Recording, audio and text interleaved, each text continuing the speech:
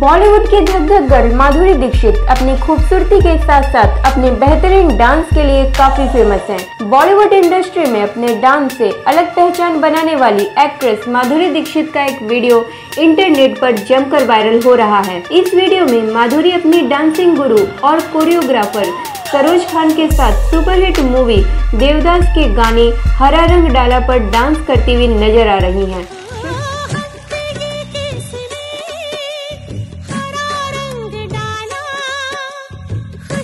Social media पर viral हो रहा है ये video dance reality show dance Deewani के सेट का है। डांस दीवानी के सेट पर हाल में ही कोरियोग्राफर सरोज खान पहुँची थी। इस दौरान उन्होंने सेट पर खूब मस्ती की। तो आप भी देखिए धक धक गर्ल का ये धमाकेदार डांस